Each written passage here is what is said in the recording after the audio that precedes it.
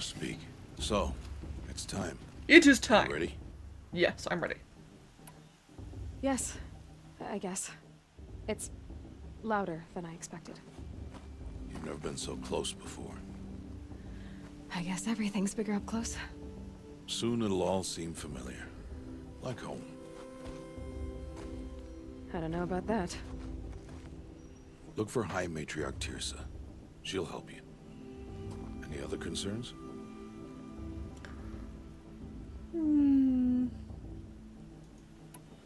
What should I expect once I'm inside? There'll be people celebrating and feasting. More than you've ever seen in one place. No other village compares to Mother's Heart. It is the seat of the High Matriarchs, a center of Nora life, a jewel of the sacred land. Give it time, and you'll grow fond of it. As I was, back when I was at the tribe. I'm ready to do this. See you back home in a few days? You will not find me there, Aloy. Here. Take this, too. Remember.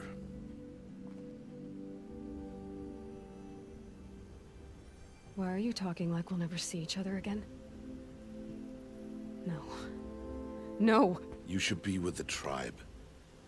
And I will always be an outcast. But I told you, I have that figured out. I'll come to you in secret. I'll be the one breaking the law, not you. You don't even have to talk to me. This attachment to me will only hold you back. It's my wish that you embrace the tribe. You've lived in isolation long enough. Not Until now, I didn't. Aww. For your sake, I must go where you will never find me. This... This is goodbye. No, it's not. You taught me how to track. Wherever you go, I can follow. Not this time. This time. And every time. I'll be wearing this when I find you. May All Mother bless you, Aloy. And you. Now, I feel like this is a thing that you really should have prepared her for. This is the kind of thing that you teach someone, like, when they first say, like, as a kid, yeah, I want to do the proving, you kind of should prepare them for that in the future. For people wondering, by the way, because I remember watching that for the first time, I thought Rost was being very callous. The reason why he's being so callous is because he's so honor bound. Like, he's a very, very, very lawful man. And you know how El- Elio was just saying about how she'd break the law, not him? He's so honourable to the law and to tradition that he won't allow her to break the law either. That's why he seems a bit, uh, you know, like a bit callous. I'll see where his It's respectful. Or respectable, excuse me. Although a bit dickish. yeah, it's a lawful good boy. It's a very good boy.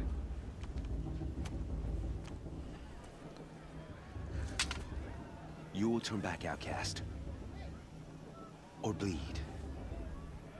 Your choice. He's got crazy eyes. Make way! Make way! Braves, stand aside. She is welcome here. I love her. She's cool. Mother's heart is open to you, child. Come. I assure you, most Nora aren't so rude as those idiots. You're Teersa? Who else would I be? Come on now. I've been waiting for this day a long time. You have? Oh, yes. But for the moment, I must leave you. I have other outsiders to keep safe tonight. You what? Envoys from another tribe, the Carja. Come to observe the proving, and oh, how the Nora hate the Carja. Carja. But that's my problem. We will talk later. In the meantime, enjoy the festival. Oh, down the path to the right, you'll find an old friend who can't wait to see you. But I don't know anyone here. Try telling him that. Can you imagine We'll how talk later. overwhelming this must May be the for goddess her? protect. What is going on? Like just casually living in exile your entire life and then just suddenly all of this is going on all at the same time. Like imagine how loud all the sounds and stuff for her is as well. Aloy! It's it is Aloy, isn't it? I'm remembering your name correctly? Are you the old friend Teersa told me about? I don't know you. I see you don't recognize me. Well, it was a long time ago. Teb is my name. You were half my size when you saved me from a herd of machines. I remember.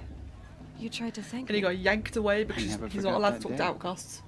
All these years, I hope to see you again, if you came to run in the proving. As you can see, I didn't turn out to be much of a hunter. I served the tribe as a stitcher instead, a maker of garments and armor. In preparation for this day, I've made an outfit for you. I hope you like it.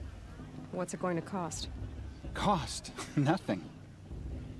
Consider the thanks I tried to give years ago. Long I've always wondered There. how the outfit fitted him. Try it on whenever you feel like it. Thank you, Teb. I've never had anything like this before. That's a Well, previous. it's yours. I think you'll find it affords more protection than what you were wearing. Oi, I'm wearing like high-tech stuff. outfit offers some advantage. It's always a trade-off. Anyway, I shouldn't keep you any longer. Head for the Matriarch's Lodge if you want to find Teersa. You'll know it when you see it. A large wooden building with an angry mob waiting outside. Teersa said something about envoys from another tribe. Yes, that's what the mob's angry about. Karja visiting our sacred land for the first time in years. I'd expect to see some tomatoes fly, maybe rocks. Hopefully not spears. In any case, be ready to duck. That's all. Right, did I... Do I still have my armor on? Okay, I do, good. In fact, I think I may have even sold his, um... Oh, no, no, that's the one, Nora Brave. So that's this was the one that he gave me, uh, which you can see in the bottom right-hand corner. But screw that now, I'm wearing my Shield Weaver. Ew. Amazing high-tech.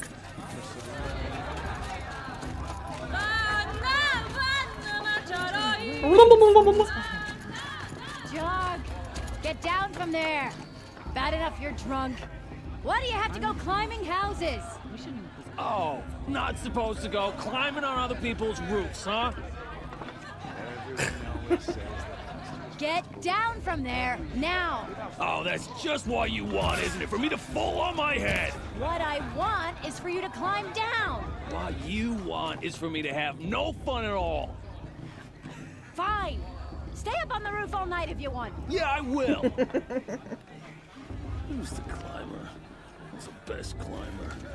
Jarg. Did you see those cards walk past? And he's a Brave as well, like when he, he talks you can see it. Nora Brave. It's not my name. so he's one of the people that is guarding the entire city. carefully now. You know, the one with For you'll have to tell this when I'm gone. In the beginning, Oh. all life came Also, the boys, they don't actually have the technology at all. What they have is ruins and scraps. Aloy, over here. Oh, hello. Karst? What are you doing here? Careful. Pretend like we've never He's met. the vendor supposed to who trade is not supposed to talk to outcasts in the outcasts, but he wilds, does anyway. He's the one who we would have How gotten could a I trip cost from And how generous if we didn't of you already to have talk it. to me now. Don't be like that. You know I'll be rooting for you in the proving tomorrow. Can't wait to see the looks on some of these faces when you win. And if you need any last-minute supplies, uh, I'm your man. Nah, fam, but I will vendor. All sell things. sales are final. If it breaks, you're out of luck. Right, let me just quickly. Uh, sell that, sell that. Just basically sell the duplicates.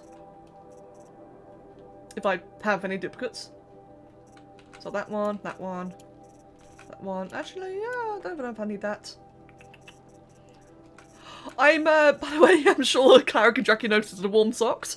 I'm keeping that because Kev told me to. That's the exclusive reason why. Kev told me to keep that.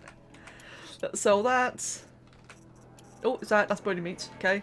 Get some wires, get rid of that, and just vendor all that. And modifications, let's get rid of the green ones. At some point, I'll do like a big um, thorough clear, but for now, I'm just getting rid of all the green ones. See you later, Karst. Good luck. In a moment, we shall bless the proving. But first, we have guests to welcome. For two years, we have been at peace with the Carja. It is time to restore our bonds of trade with Meridian. These envoys come to us under a banner of peace. Peace. It's peace. An enunciation of gratitude written Killers and slavers! of Yeah! Sun King Yeah! of Killers and slavers! Hey, hey! Luminance Hold your fruit, Nora. I like him. Nora He's Faithful. great. Hold your fruit. Now I'm Oseram, not Carja. So I'll put it to you straight. The 13th Sun King was a murderous bung. Oh, he was. he was a tyrant and a monster. Raided my tribe for blood sacrifice, just like yours. My own sister was taken. I hated the Carja. But the 13th king is dead. Two years now. And who killed him? The 14th. He has no eyebrows. Not because he, he lusted for power, but because someone had to put an end to his father's atrocities. Yeah! The message that this poor priest means to read is an apology.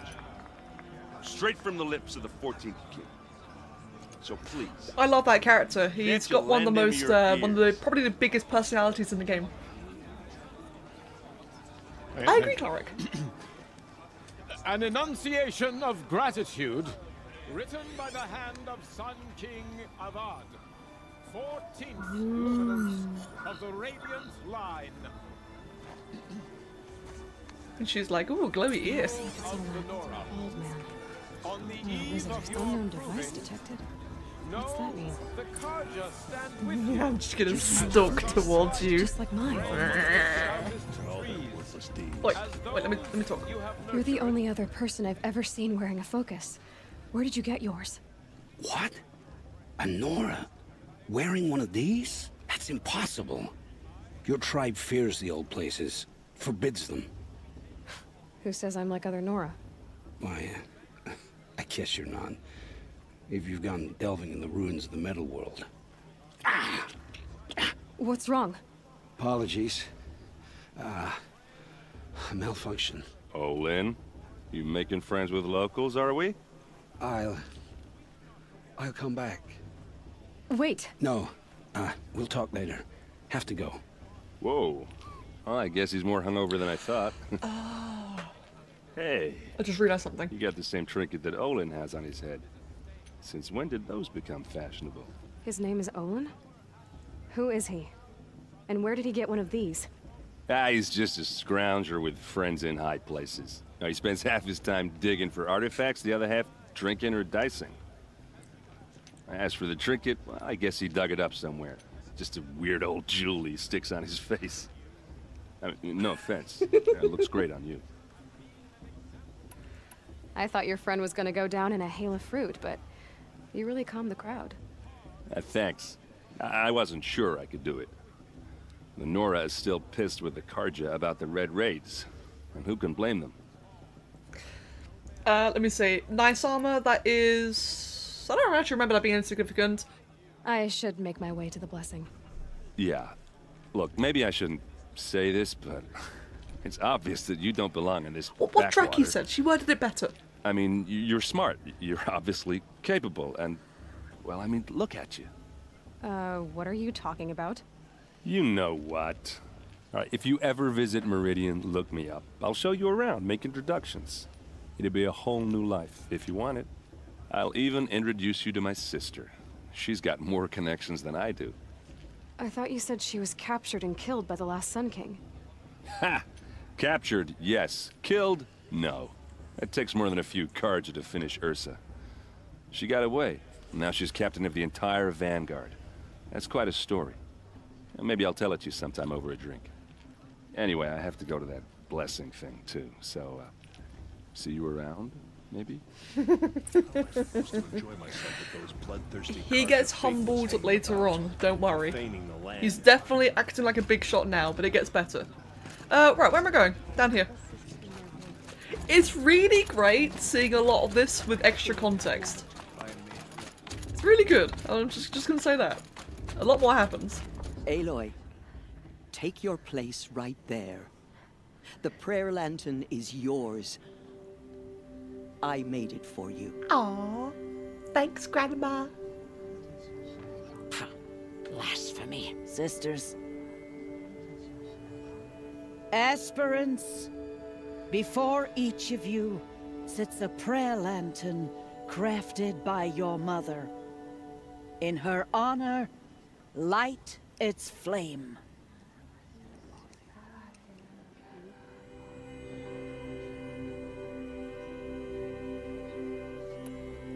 In honor of Rost.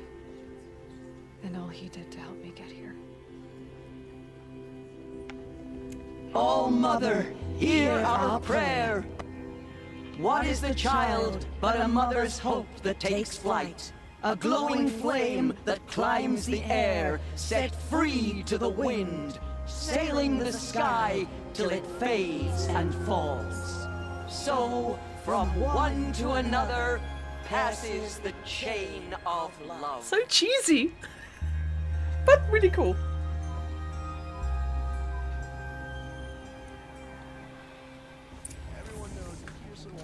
There's Olin.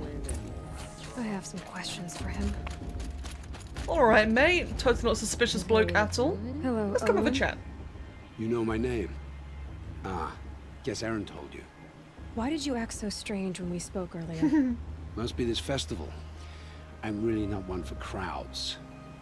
Maybe I should just turn in. Stop dodging my questions. All right, cool your fire. I got nothing to hide.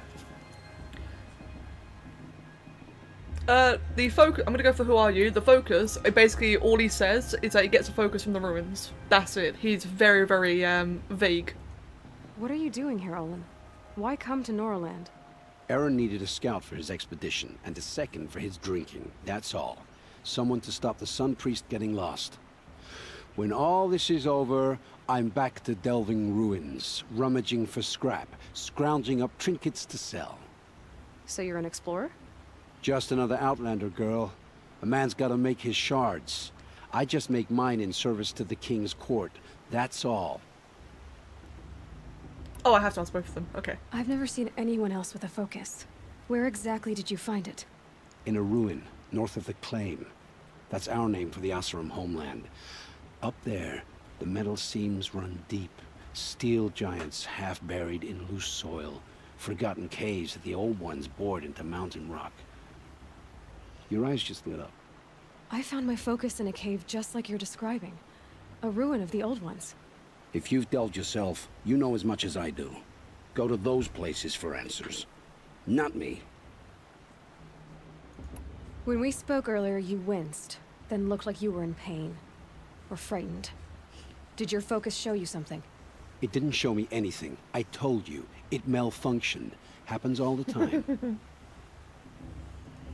You're not a very convincing liar. do you always accuse people you've just met of lying? Only the ones who aren't telling the truth. Fire and spit, girl. I'm a plain hammered man with nothing to hide. You don't believe me? That's your trouble, not mine. Um, for the pair of these, he just goes on like he's very, very stubborn. He just keeps on saying that he doesn't want to know her. He's got enough friends. He doesn't care. Tells her go do something else. Again, it's like extremely deflective. I don't understand. We have this device in common, but you can't wait to stop talking to me. I already have all the friends I need, girl. I don't need the bother. I'm used to being shunned by the tribe. I thought you'd be different. It's nothing personal. It really isn't. You should... Try to enjoy yourself tonight. Big day tomorrow. Always best to make every day count. Uh. Carja took my little sister and their aides five years ago. All mother.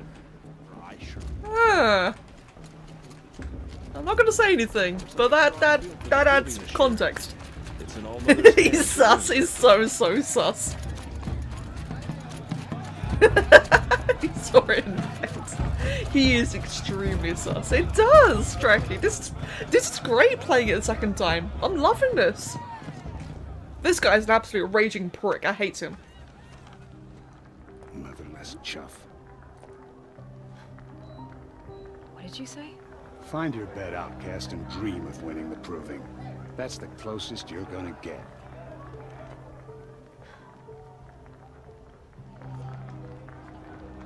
Oh, this is the bed house? With you standing guard, I figured it was the latrine. You're you're very present here.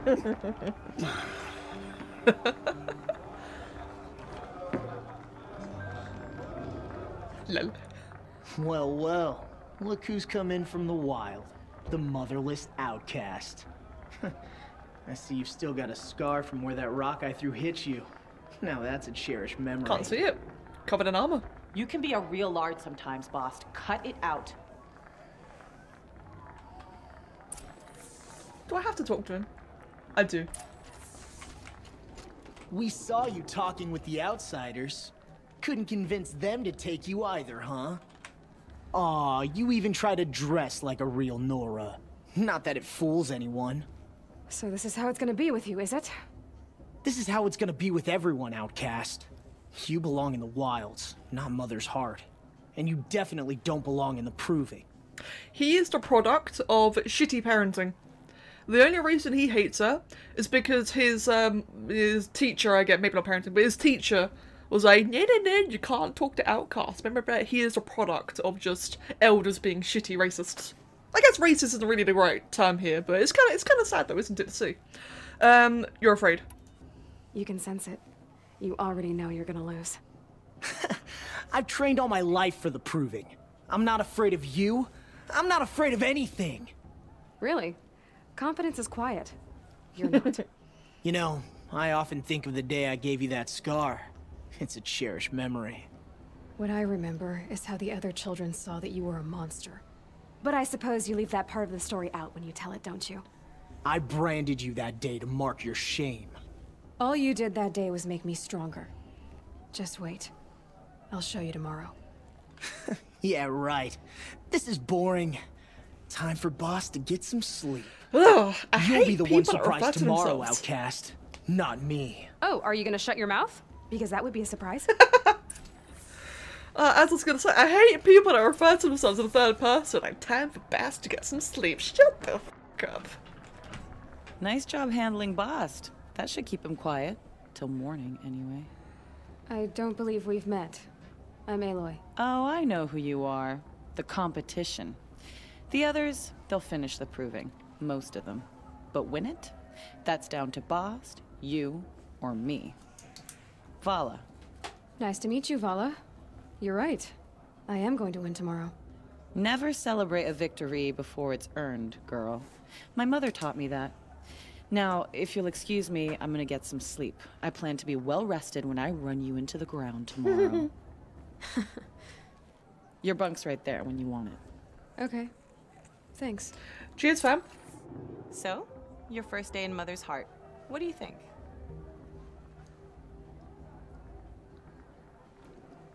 You've never slept in a Nora Lodge before. Not very private.